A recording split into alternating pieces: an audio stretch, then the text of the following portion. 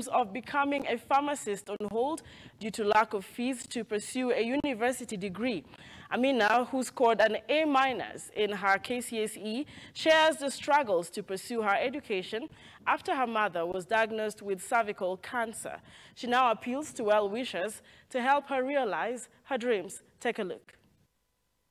Mpya imefika, hata wangekuwa lakini kama tunataka tu condemn in the strongest terms possible hao wezi ambayo walikuja upande wa Kipchumwa leo kuiba na kupiga watu risasi.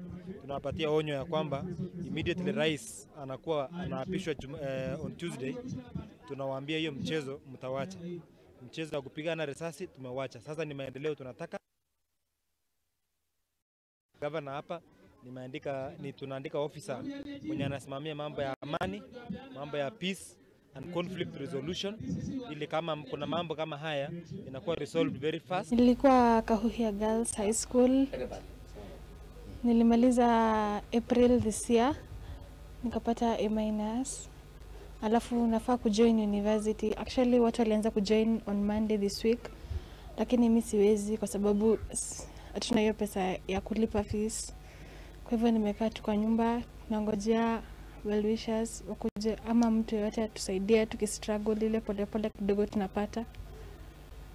Ya na naenda kufanya pharmacy. Uh, kutoka kutoka nikiwa form 1 ikiisha mam akakuwa mgonjwa alafu ameshinda in and out of the, ameshinda akipeleka hospitali in and out every now and then. Ana, anawekwa anafanya blood transfusion at nini different times so pesa zote zenye zilikuwa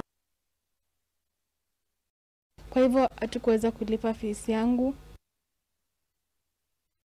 Mbele yangu hajaenda university juu ya hiyo, kwa hivyo tumekuwa tukistruggle all the time. Uzuri sasa ni principal wa shule nilikuwa alikuwa mzuri na alikuwa understanding, kwa hivyo alinialau kumaliza hadi ndio nichukue results slip form 4 ilibidi tu juu tulikuwa na fees balance ya pesa mingi sana ya over 120,000 so tulichanga tu kidogo ya ile watu wa kutupea ya mkono ndio tukaweza ku, ku reduce balance ndio nikapatiwa result slip ndio niweze kujoin university. Lakini bado bado hiyo pesa ya kujoin university bado haijapatikana.